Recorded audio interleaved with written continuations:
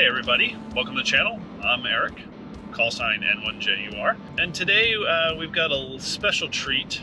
Uh, I'm uh, actually heading over now to a local high school that uh, our club every year goes to their uh, CTE slash engineering seminars where companies are invited to come and basically educate uh, students at this high school on uh, everything related to electronics, software, uh, hardware, and just about anything in the uh, commercial realm. And so they extended an invite, uh, and this is our second year doing this uh, to our ham radio club. So I'm going there uh, and we're setting up a bunch of different displays. I've got my HF gear with my DX10 and a bunch of other videos and documentation and handouts and stuff.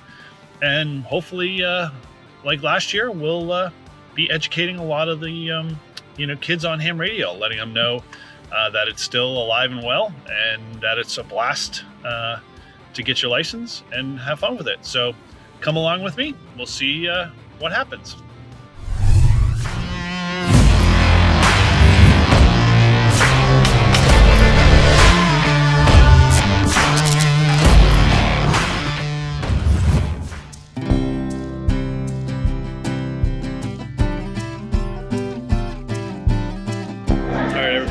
We are here at the CTE and things are finally all set up. It's uh, quite busy. It's starting to pick up.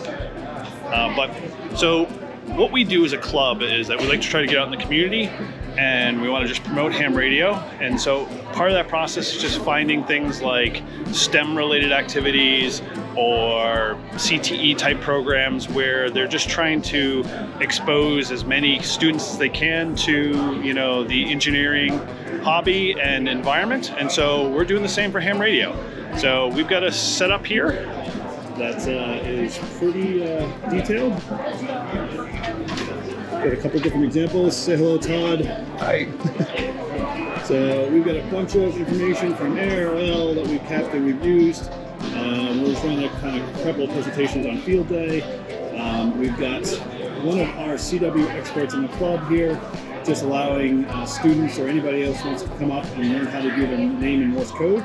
Um, and we're going to probably be logging into our local net, which will start around seven, to give uh, people, you know, an idea of, you know, what uh, ham radio is all about. So we're going to kind of do a little bit more of the event itself, walk around, but uh, this is the start.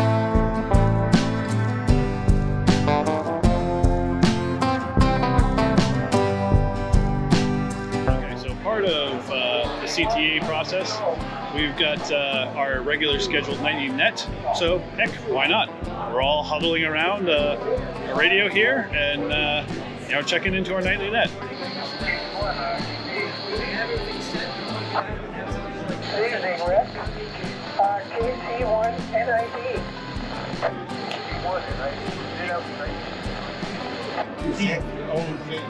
KC1 That's Keith uh, PC1 communicating portable from Milford High School.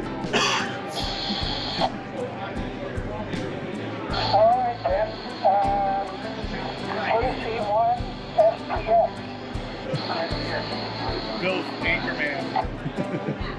PC1 PLI. All right, got quite a problem.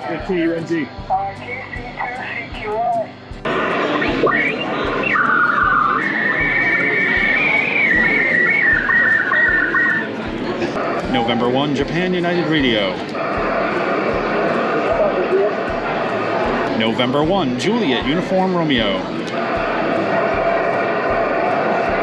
N1, JUR, QSL.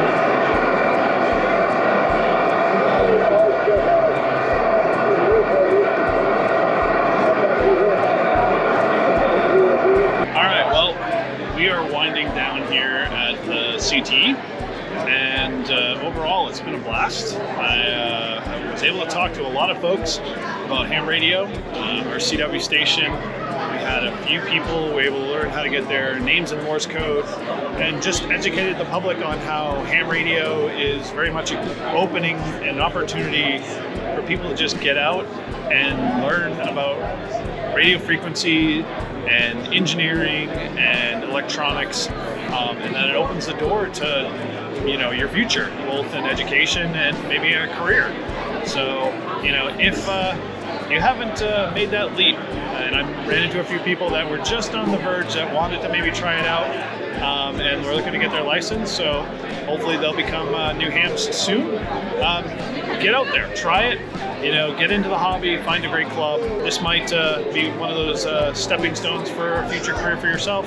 If not, you got a great group of people and an awesome hobby to get involved in. So with that, thanks for watching. Remember to like, subscribe, and share. And as always, uh, you can find all your content over at N1JUR Amateur Radio 73.